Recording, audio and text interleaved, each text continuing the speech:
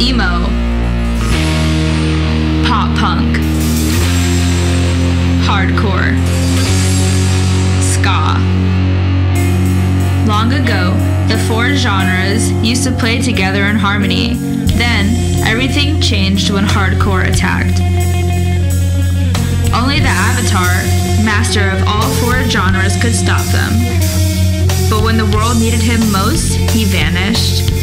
100 shows have passed, and my brother and I discovered the new Avatar, a ska bender named Jeremy. And although his ska bending skills are great, he has a lot to learn before he's ready to save anyone.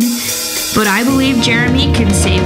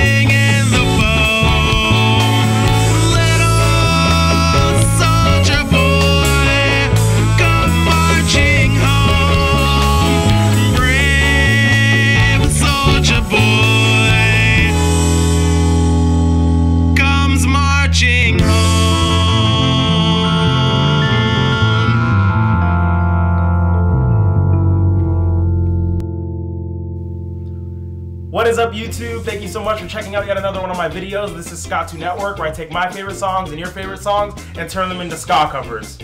I want to start this out by saying a huge thank you to everybody who has been sharing and supporting my Me channel cover video. That video really is blowing up, and it's thanks to people like you who watch it, who share it, who comment on it, who click the like button, who subscribe to my channel. Um, I have like 2,000 new subscribers this week, so thank you again so much for being here on this channel. It's really interesting because my job has been cutting my hours to the point where like I didn't even know what I was going to do, but like this video is blowing up and like um, I have a lot of people subscribing to my Patreon. I have a lot of merch sales going right now and you guys are really helping make the difference that I'm losing at like my job and hours. So thank you so much. Like you have no idea how much I appreciate this. So if you haven't seen the merch that I have, I have a shirt for sale that has the Ska Tune Network logo on it and I also have these hats right here. Like, look how good these hats look. Oh my goodness. Holy. Oh, hello. So once again, if you look down in the description, I have all of my social media as well as a link to my web store and to my Patreon if you're willing to support that. Uh, a lot of cool things are about to happen on this channel.